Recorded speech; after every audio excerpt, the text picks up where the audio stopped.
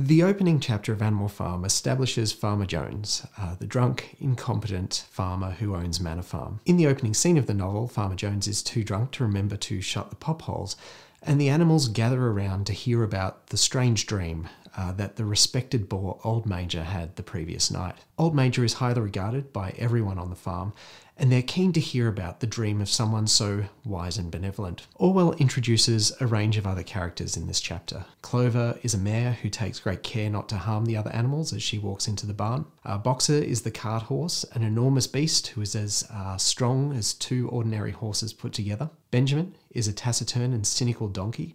As Orwell notes, he seldom talked, and when he did, it was usually to make some cynical remark. For instance, he would say that God had given him a tail to keep the flies off, but that he would sooner have no tail and no flies. Molly is the foolish mare who comes in chewing a lump of sugar that Farmer Jones gave her. Old Major talks to the animals about their miserable and squalid existence on the farm. They're exploited by Farmer Jones and worked to death, receiving little or no reward for their labour. As Old Major notes, let us face it, our lives are miserable, laborious, and short. We are born, we are given just so much food as will keep the breath in our bodies, and those of us who are capable of it are forced to work to the last atom of our strength. And the very instant that our usefulness has come to an end, we are slaughtered with hideous cruelty. No animal in England knows the meaning of happiness or leisure after he's a year old. No animal in England is free. The life of an animal is misery and slavery. That is the plain truth. Old Major explains that the land is capable of supporting a great number of animals. The only thing standing between them and a more comfortable life is man. Man is the only real enemy we have. Remove man from the scene, and the root cause of hunger and overwork is abolished forever. Old Major explains that man unfairly profits from their labour while condemning them to a miserable existence and a brutal death. But no animal escapes the cruel life in the end. You young porkers who are sitting in front of me, every one of you will scream your lives out at the block within a year. Old Major dreams of a time when the animals will rebel and establish their own society where they'll profit equally from their labour. Is it not crystal clear then, comrades, that all the evils of this life of ours spring from the tyranny of human beings? Only get rid of man, and the produce of our labour would be our own. Almost overnight, we could become rich and free. What then must we do? Why work night and day, body and soul, for the overthrow of the human race? That is my message to you, comrades. Rebellion. During the speech, Old Major outlines the ideas that will eventually become the system of belief known as animalism. Whatever goes upon two legs is an enemy.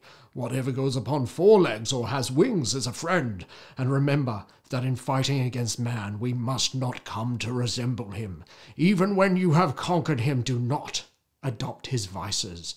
No animal must ever live in a house, or sleep in a bed, or wear clothes, or drink alcohol, or smoke tobacco, or touch money, or engage in trade. All the habits of man are evil, and above all, no animal must ever tyrannize over his own kind. Weak or strong, clever or simple, we are all brothers. No animal must ever kill any other animal. All animals are equal.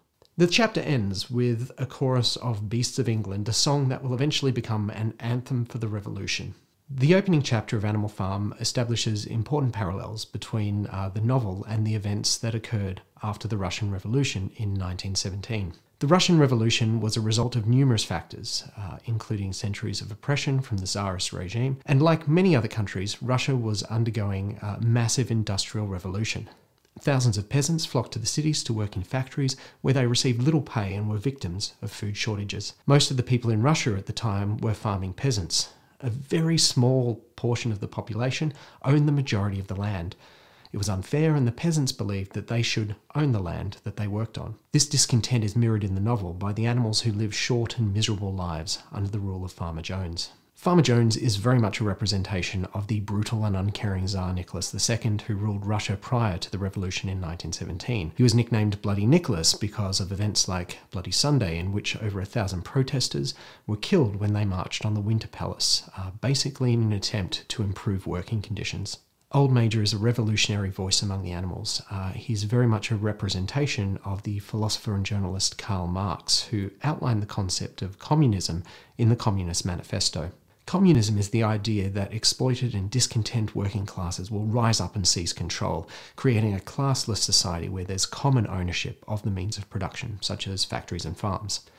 In the novel, Old Major outlines an idea that will eventually become known as animalism a political idea that the animals will rise up and take over the farm themselves, sharing the profits of their labour equally. Orwell was inspired to write Animal Farm by the Soviet Union's descent into tyranny.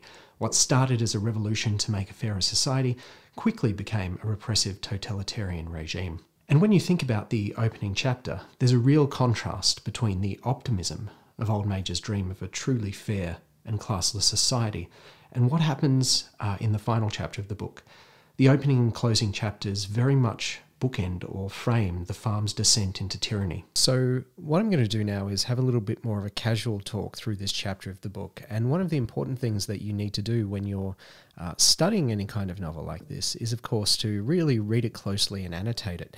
Um, so, you've hopefully got a copy of the book there. You've hopefully got a pen or some sort of highlighter, and you're going to uh, join me in annotating this um, as we talk a little bit about chapter one. I guess one of the first things that I've underlined is uh, this chapter really does set up the um, the neglect and the cruelty of Farmer Jones. And in that first paragraph there, the, the two things that I've underlined the fact that he's too drunk, um, I've just underlined those two words, uh, and the way that he lurched across the yard. I think uh, those two quotes in particular help to uh, really illustrate the uh, neglect that um, Farmer Jones uh, shows towards the animals. And we know that uh, Tsar Nicholas II in Russia was an incredibly uh, neglectful leader who did uh, terribly foolish things like getting Russia into wars uh, that were tremendously unpopular um, and all of that sort of thing. So I think in terms of George Orwell's writing style, he really favors, you know, he favors brevity and he sets up a lot of characters in this chapter in a very small number of words. He does it very concisely. I think there are very few words in this chapter to set up the characters, but they are very important words, and I'd like you to focus on those. And of course, I guess the next paragraph is really about setting up the character of Old Major, um, who's characterized, I think, in a very positive way. And the one thing that I did underline here are the words highly regarded, uh, because his, you know, uh, He's highly regarded among the animals. Uh, they they listen to him, and uh, yeah, I, th- I think that really helps to encapsulate that particular character. We do get a little introduction to a number of characters here. Um, so we get the the stout and motherly mare Clover. Boxer is really a crucial character in the novel and ultimately one of the most tragic and heartbreaking parts of this book um, is the moment later and what happens to him. Uh, it's I seriously tear up a little bit every time I read that. Benjamin's also introduced in this chapter. And the quote that I've really underlined for Boxer, it's, it's quite a long one. Um, so you can sort of uh, cherry pick little parts of this uh, later on. Boxer was an, an, enormous beast, nearly 18 hands high and as strong as two ordinary horses put together. A white stripe down his nose gave him a somewhat stupid appearance, and in fact, he was not of first rate intelligence, but he was universally respected for his steadiness of character and tremendous power of work. The next character who's introduced uh, is Benjamin. Benjamin's an interesting and very cynical character and in fact, that's the word that I underlined here cynical. I, I think that Benjamin represents the type of people in society who have seen it all before in terms of politics and who think it's no use getting involved in politics. It's no use trying because it's always going to be the same. And I feel a real degree of uh, frustration with Benjamin because he doesn't, the character doesn't realize that all of this matters until far too late and that moment as he's uh, if you i'm sure hopefully you've read the whole novel but as he's uh, chasing after the van uh, towards the end of the novel is one of the most heartbreaking things it is too late by then definitely too late then we get the character of Molly. Uh, Molly, the foolish, pretty white mare who drew Mr. Jones's trap, came mincing daintily in chewing a lump, lump of sugar. Orwell really doesn't pull any punches with Molly. Uh, she has those red, red ribbons in her mane, and Molly is very much a character who I guess represents the the bourgeois or the upper middle class in Russia, who were very sympathetic to the royals. They were very um, sympathetic to the landowners and the factory owners and the wealthy capitalists. And she, because of the preferential treatment she receives from Farmer Jones, really does prefer his rule and and disappears a little bit later in the novel. Uh, then you know we get the beginning of Old Major's speech and throughout this quite lengthy speech, what I've done is I've highlighted a few phrases that I think are important and can help us write about his, his vision of a fair and equal society. That idea that their lives are miserable, laborious, and short, I think really helps to demonstrate how terrible things are for them. That no animal in England knows the meaning of happiness or leisure after he is a year old, and that their lives are, and I quote, misery and slavery and it was only a matter of time before uh, this one turned up. I don't know if you can see my cat. I guess probably the other really important idea here is the fact that uh, the farm is capable of supporting everyone uh, with a life beyond their imagining. Uh, moving on, I guess, towards the end of this speech, um, there is a really, uh, I guess, evocative illustration of the cruelty that the animals endure. So, um, Old Major points out that none of them escape the cruel knife um, in the end. I think that's a really great quote to illustrate the cruelty of Farmer Jones. And that line where he's talking to all of the pigs in front of him, all of you will scream your lives out at the block within a year.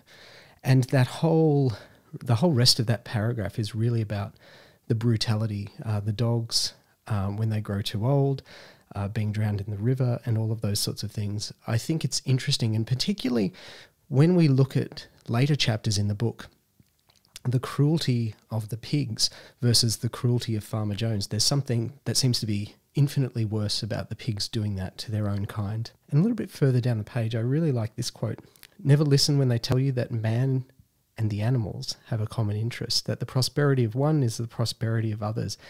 And I can't help but think about billionaires here not paying their fair share of tax uh, when I read this and being told that it's in the interests of society that they don't. Towards the end of his speech, there is a rather interesting uh, bit where he says, And remember that in fighting against man, we must not come to resemble him.